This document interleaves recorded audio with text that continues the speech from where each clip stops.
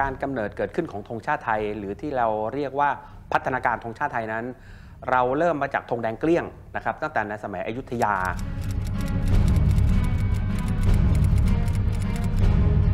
พอขึ้นในสมัยกรุงรัตนโกสินทร์พระบาทสมเด็จพระพุทธยอดฟ้าจุฬาโลก พระองค์ท่านได้สถาปนาราชวงศ์จักรี พระองค์ท่านได้นำวงจักรมาวางกลางผืนผ้าแดง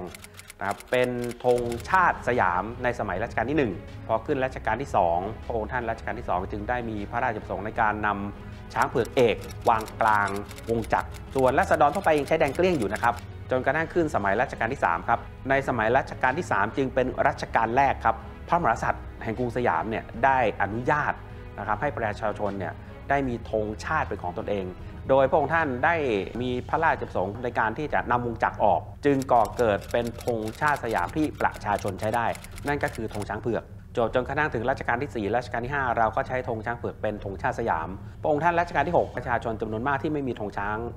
รับเสด็จ จึงเป็นที่มาของการออกแบบด้วยพระองค์เองในชื่อว่าธงค้าขาย ก็คือให้ราษฎรประดับรับเสด็จนั่นแหละ แล้วก็พระองค์ท่านก็ได้ประกาศการใช้ธงช้างเผือกทรงเครื่องยืนแท่นสำหรับเป็นธงชาติราชการเลย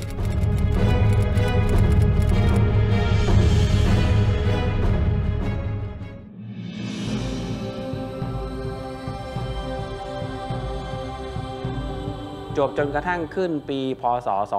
2460 ในขณะนั้นเองเนี่ยก็ได้เกิดสงครามโลกครั้งที่หนึ่งพระองค์ท่านจึงได้มีพระราชประสงค์ในการเปลี่ยนแถบแดงตรงกลางของธงแดงขาวห้าริ้ว ให้เป็นลักษณะของสินเงินนะสินเงินแก่ จึงเป็นที่มาของธงไตรลงในวันที่ 28 กันยายน พระพุทธศักราช 2460 เราเป็นประเทศเพียงประเทศเดียวนะครับ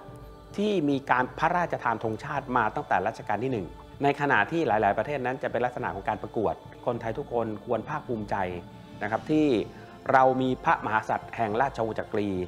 ทะผู้พระราชทานธงชาติไทยมาโดยตลอด 235 ปีครับ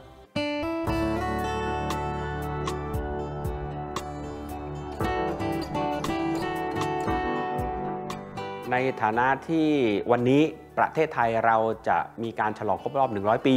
แห่งการพระราชทานธงไตรรงค์เป็นธงชาติไทยนะครับ ผมก็อยากฝากต้องเรียกว่าเป็นพี่น้องคนไทย ผู้ร่วมแผ่นดินนะครับ ที่ณที่ตรงนี้ว่าเราควรจะภาคภูมิใจ ที่เรามีสัญลักษณ์สูงสุดของชาติ เป็นสิ่งที่ได้รับพระราชทานจากในหลวง นับตั้งแต่รัชกาลที่ 1 จนกระทั่งถึงแบบสุดท้ายก็คือธงไตรรงค์เมื่อวันที่ 28 กันยายน2460 นะครับพระองค์ท่านรัชกาลที่ 6 ก็ทรงออกแบบเอง